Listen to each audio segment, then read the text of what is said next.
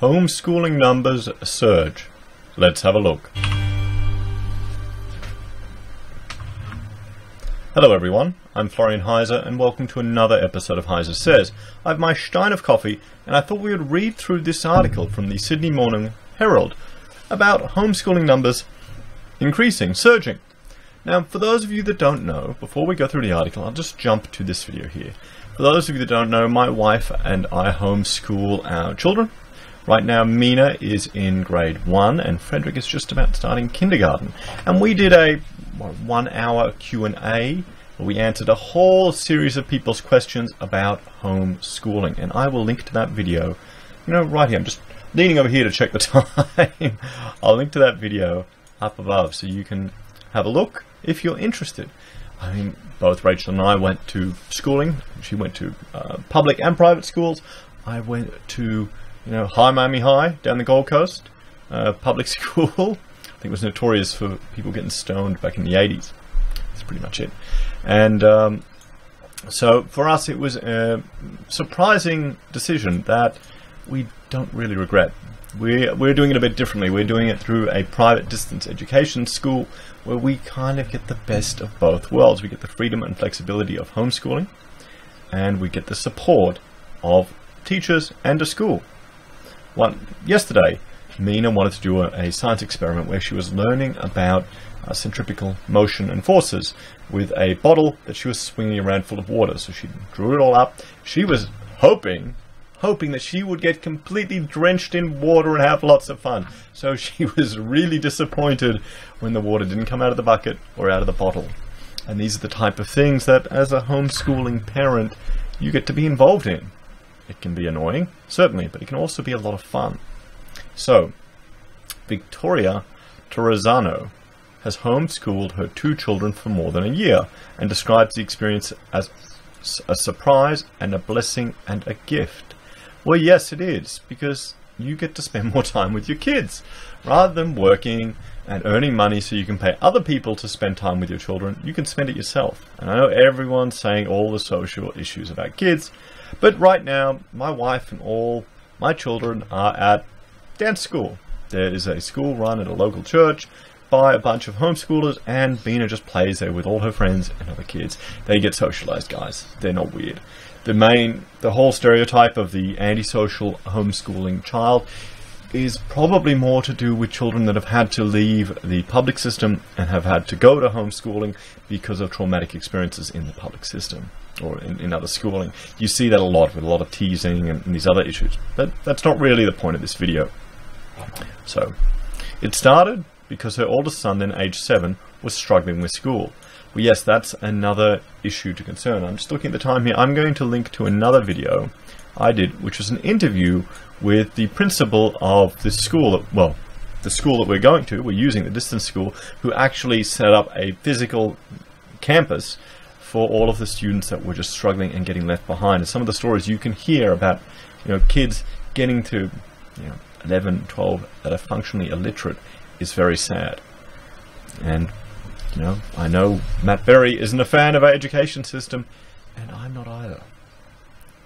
He was always pretty good while in the school, but the second he got in the car, he was overwhelmed, screaming, hitting, and would melt down constantly between 4 pm and bed, she said.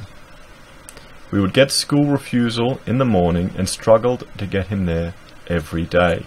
It eventually got to the point where behaviours started happening while at school and right at the start of the year and it just made us question why we kept pushing him. Uh, sorry, we kept pushing and what we were trying to achieve. The Melbourne mother said she decided to give homeschooling a try after talking with professionals, family and friends, and attending a homeschooling information night. I mean, this is the thing, a lot of people are concerned, oh, can you teach your kids? I mean, Rachel and I, we each have two university degrees and we've taught at university level. And this may sound a bit I guess teaching a bunch of first year students isn't that different to teaching a preppy or a grade one.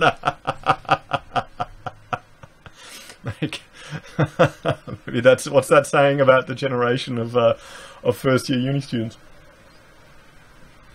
It's the same same approach, your your pedagogical approach to learning. I got advice and support from many homeschooling networks and families. But the truth is, you learn how to do it from your child, she said. Well, yes, your, your child, you know, you know what they're good at, um, what they want to do. Yeah. Ours is hands-on, relational learning. He needs to experience and explore things for himself at his own pace, so we do excursions and activities and a few classes. Well, yeah, that's that's the best thing about this. I mean, because I'm working from home. You know, this is my office and studio, so I will sit down. I think I'm going to. I'm planning today to do a bit of point cloud work and a bit of game dev uh, today, and um, so I'll probably sit down at the, the desk behind me. So I get to see the kids all the time. It's just peaceful now. it is so peaceful. Often you'll hear screaming in the background. So we, we will, what we did, we'll go on an excursion. I know recently we had some free tickets to Australia Zoo and I said, screw it, I don't want to work. Let's take the kids to Australia Zoo. We'll make an excursion of it. It's fantastic.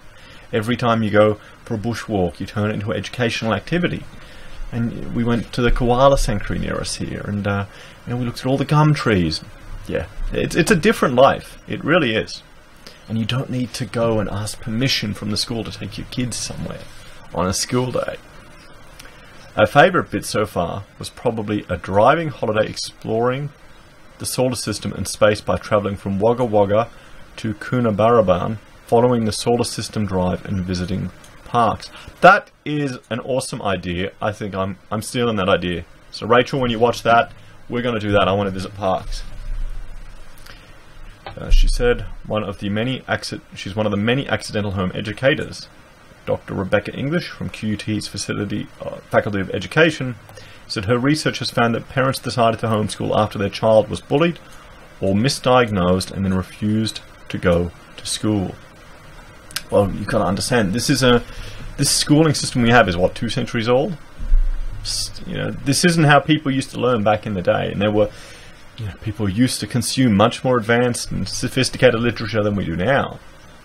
Okay, so yeah, I think a lot of it is to do with self-motivated learning. Sitting in a factory pen, copying garbage down from a board, so much wasted time.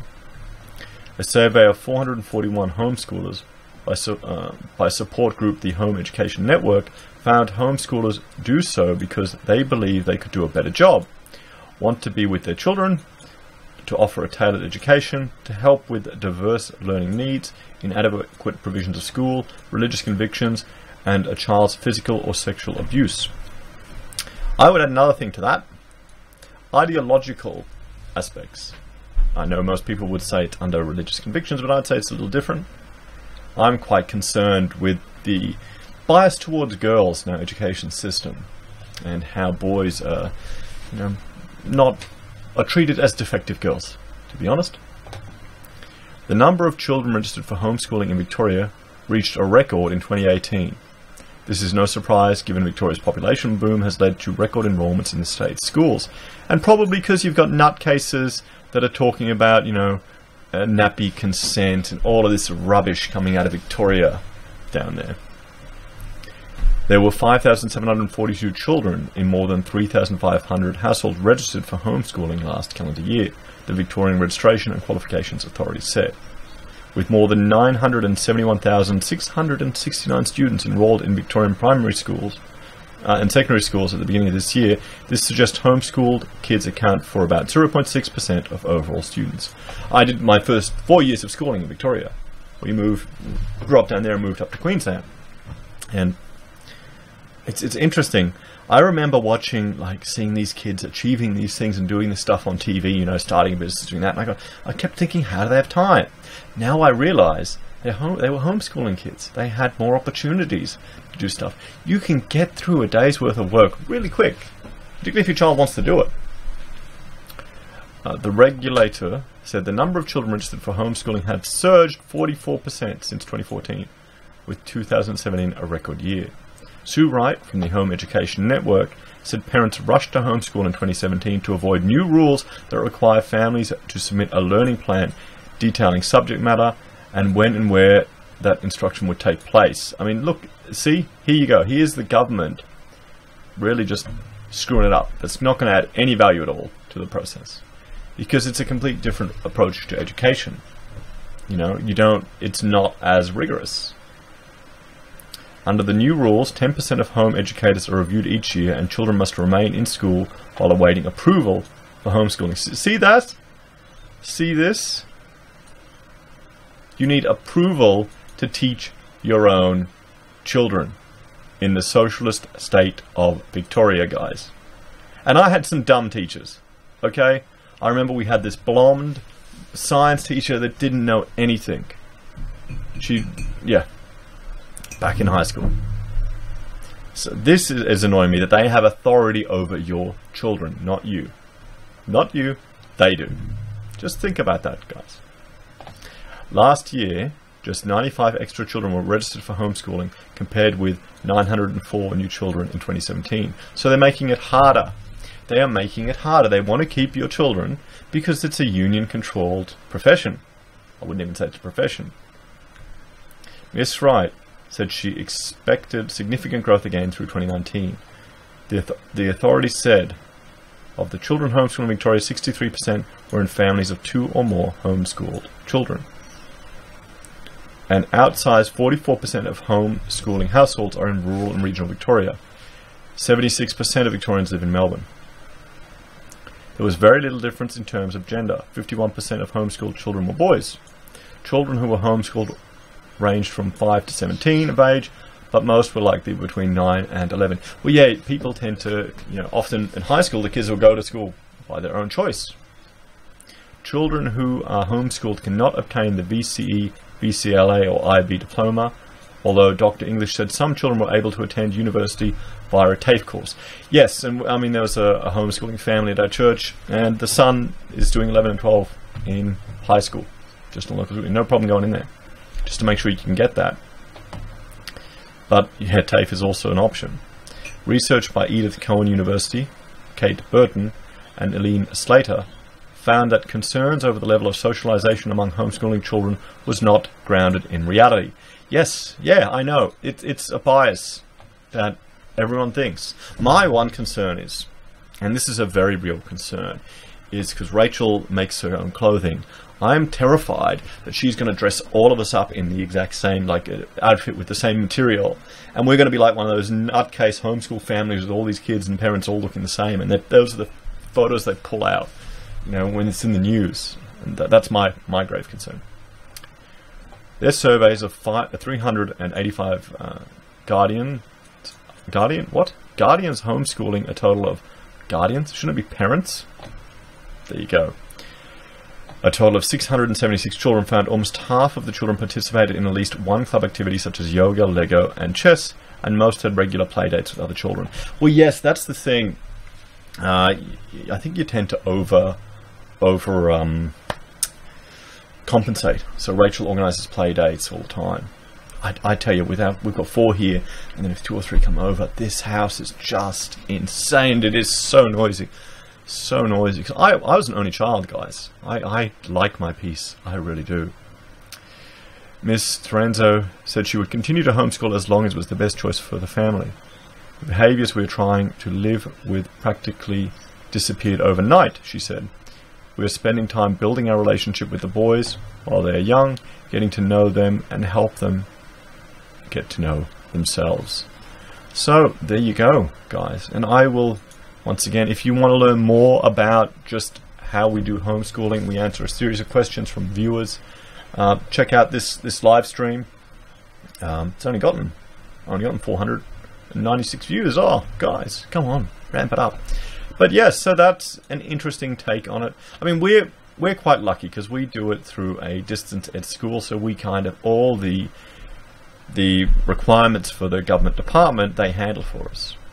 They manage all that. We have a teacher coming out once a once a term, does a you know tests Mina and checks everything out, uh, and yeah. So it's actually quite funny because the principal of the school he's a vegan, so and his daughter is friends with Mina, and um, Mina's teacher who comes out here, he knows where you know um, keto, or you know, we were doing carnivore because we were having lunch with him, serving him up all these meatballs.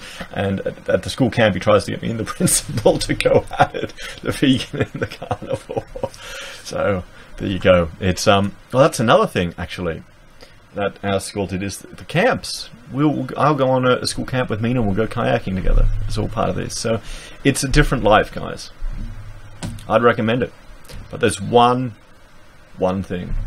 You need a full-time stay-at-home partner. One of you needs to commit full-time at home to do this, or it doesn't work.